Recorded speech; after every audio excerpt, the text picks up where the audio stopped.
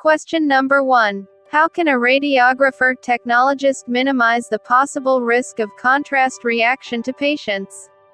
Option A. Using the smallest amount of contrast possible. Option B. Using low osmolar contrast agents. Option C. Using non-ionic contrast agents. Option D. All of the above. Right answer is option D.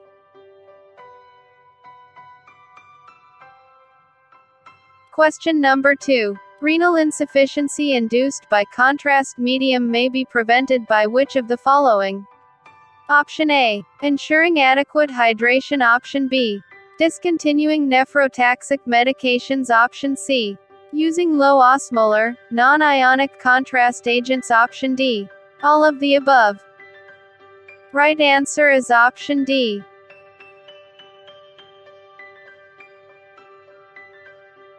Question number 3. Which of the following is a fundamental element of treating anaphylactic reactions? Option A. Stabilization of the patient's airway. Option B. Cardiac functions. Option C. Blood pressure. Option D. All of the above. Right answer is option D.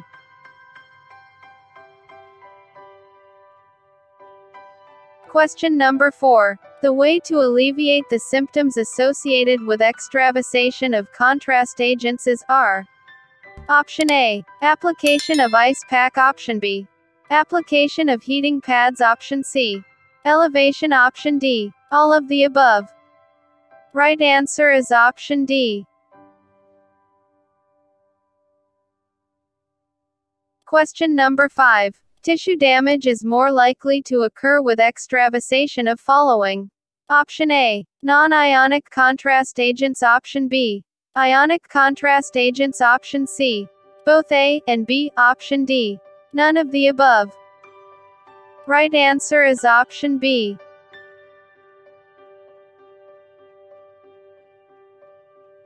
Question number 6. Which type of contrast agents should be used in patients who are at great risk of adverse reactions? Option A. Ionic contrast agents Option B. Non-ionic contrast agents Option C. Both A and B. Option D. None of the above. Right answer is option B.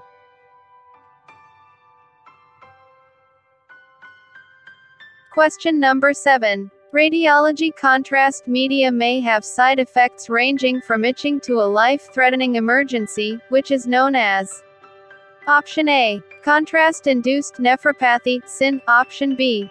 Contrast-induced naturopathy, CIN, Option C. Contrast-induced nurturing, CIN, Option D. Contrast-induced neuropathy, CIN. Right answer is option A.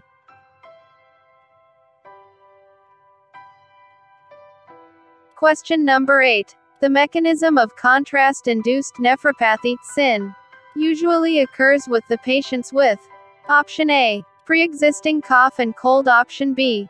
Pre-existing renal impairment and diabetes Option C. Pre-existing liver and gallbladder disease Option D. All of the above. Right answer is Option B.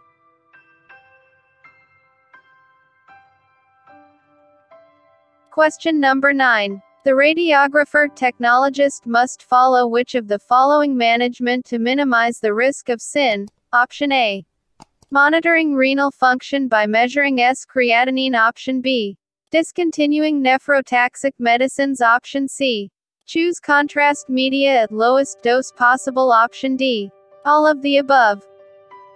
Right answer is Option D. Question number 10. Which of the following patients are more prone to develop bronchospasm? Option A. Cholecystectomy patients Option B. Colostomy patients Option C. Asthma patients Option D. All of the above. Right answer is Option C.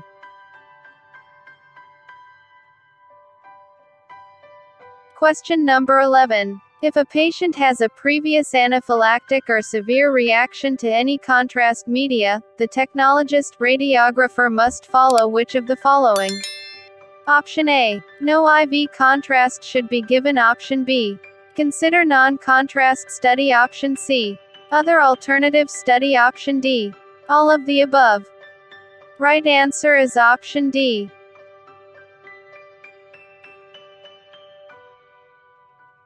Question number 12. The radiographer technologist must follow which of the following management to lower the chance of anaphylactic reactions in high-risk patients?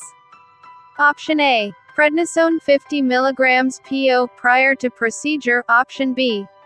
Hydrocortisone 50 mg IV prior to procedure. Option C. Diphenhydramine 25 mg prior to procedure. Option D. All of the above. Right answer is option D.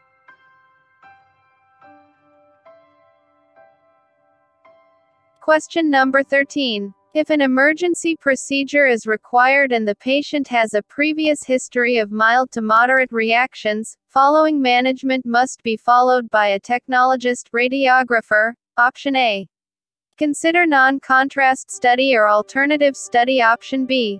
Hydrocortisone 50 mg IV every 4 hours till procedure is completed option C. Diphenhydramine 25 mg IV 1 hour prior to procedure option D. All of the above. Right answer is option D.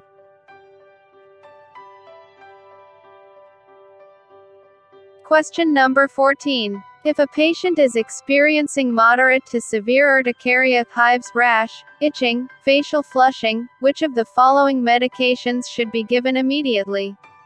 Option A. Diphenhydramine 25 mg IV. Option B.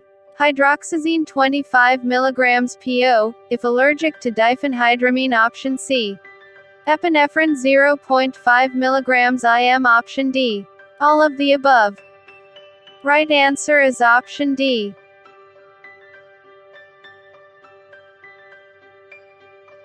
Question number 15. What should a radiographer technologist do to a patient who is suffering a mild urticaria, hives, rash, itching, facial flushing?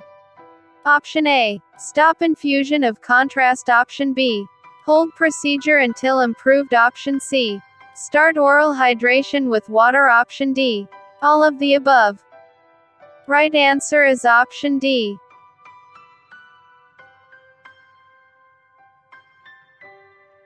Question number 16. What should a radiographer technologist do to a patient who is having hypotension with bradycardia? Option A. Position patient in Trendelenburg position. Option B. Initiate oxygen via mask at 10 liter per minute to maintain oxygen saturation is greater than or equal to 92% option C. Give sodium chloride 0.9% NS 1 liter IV bolus to maintain blood pressure option D. All of the above. Right answer is option D.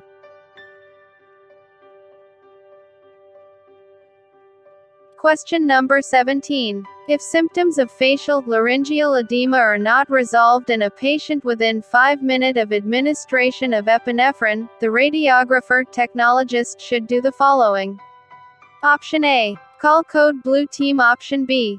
Call radiologist to bedside option C. Call patient's relative to bedside option D. Both A and B. Right answer is option D.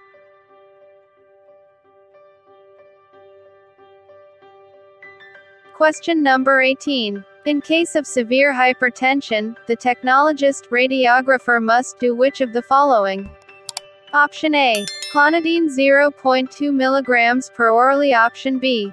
Initiate oxygen via mask at 10 liter per minute to maintain oxygen saturation is greater than or equal to 92% option C.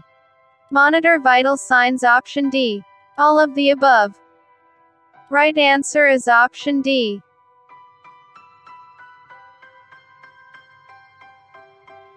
Question number 19. If a patient has the symptoms of respiratory distress, what must a radiographer technologist do in this case? Option A. Secure airway and initiate oxygen via mask at 10 liter per minute to maintain O2 saturation. Option B. Epinephrine 0.5 mg IM. Option C. Place on cardiac monitoring and monitor vital signs. Option D. All of the above. Right answer is option D.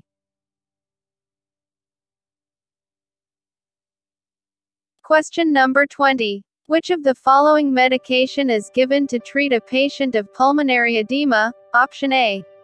Furosemide 40 mg IV Option B. Clonidine 0.2 mg IV Option C. Lorazepam Option D. All of the above. Right answer is option A.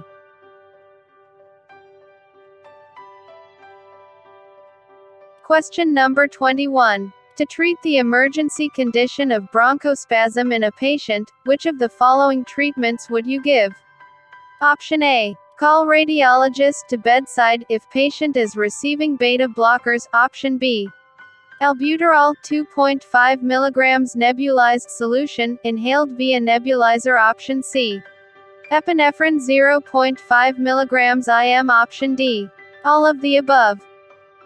Right answer is option D.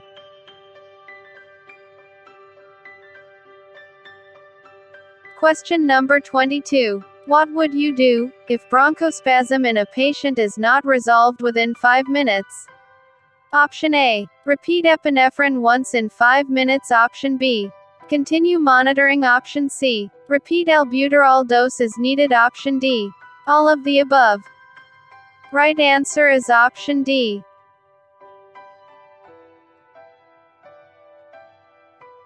Question number 23. If a patient is having seizures convulsions due to contrast media reaction, which of the following treatment will you give?